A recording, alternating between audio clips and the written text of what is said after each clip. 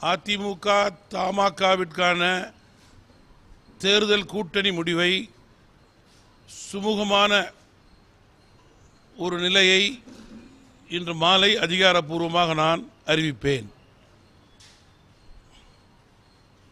பொள்ளாச்சியில் நடந்த பாலியல் சம்பவங்கள் ஏற்புடையதல்ல கண்டிக்கத்தக்கது.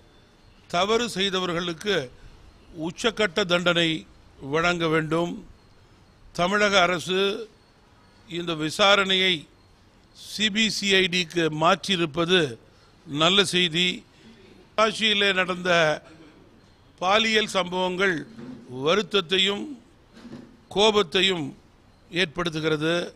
தவறு செய்தவர்களுக்கு உச்சக்கட்ட தண்டனையை நீதிமன்றம் கொடுக்க வேண்டும்.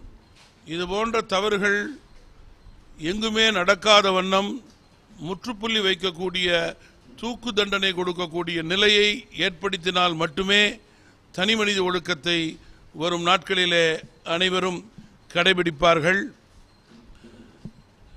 தவறு செய்தவர்களை தண்டிப்பதற்கு தமிழக அரசு சிபிஐ விசாரணையை ஏற்படுத்தக்கூடிய நிலையை அறிவித்திருப்பது நல்ல செய்தி.